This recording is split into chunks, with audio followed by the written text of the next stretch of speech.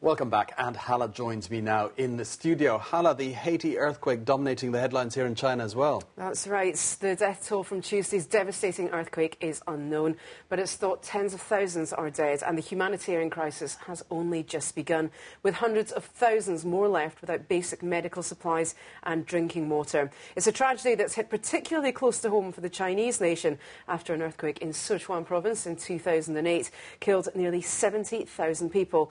Let's go now to BON's Kevin Jia in the newsroom to see what Chinese internet users are saying about the tragedy.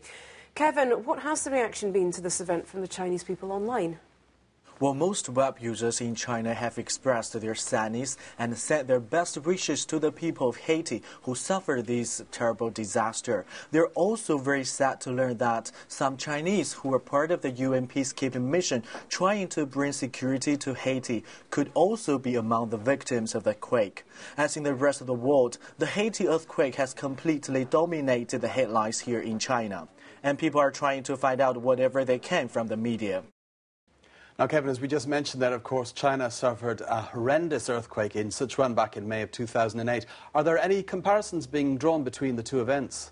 Yes, there are. Some people have said that it is the poverty which has resulted in such a large number of deaths, even though the earthquake in Sichuan was technically a more powerful one. They're also saying the poor quality of the buildings may have led to more people dying than was necessary. Many people are calling on others to send money even though the country has no official diplomatic relations with China.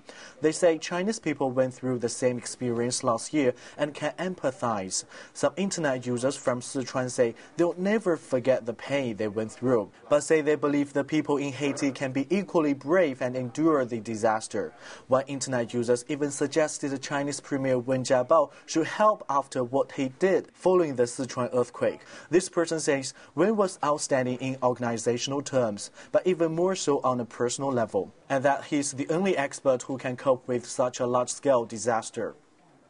Thanks, Kevin. Well, interesting there, Fergus, how when making the comparison between the two events, the earthquake in Sichuan and the earthquake in Haiti, that one netizen is actually picking up on the, the, the fact that poor uh, construction of buildings might also contribute to a, a, very high death toll. Now, that's a particularly sore spot here in China, um, given that the, the quality of the buildings um, was very, very controversial, given that so many of them actually collapsed. Sure, sure. It's terrible to, to make comparisons, but it would seem also that in, in terms of numbers of fatalities, uh, the officials in, in Haiti at the moment saying that possibly 100,000 people, which could mean that even worse than the, the earthquake in Sichuan uh, in, in 2000. 2008.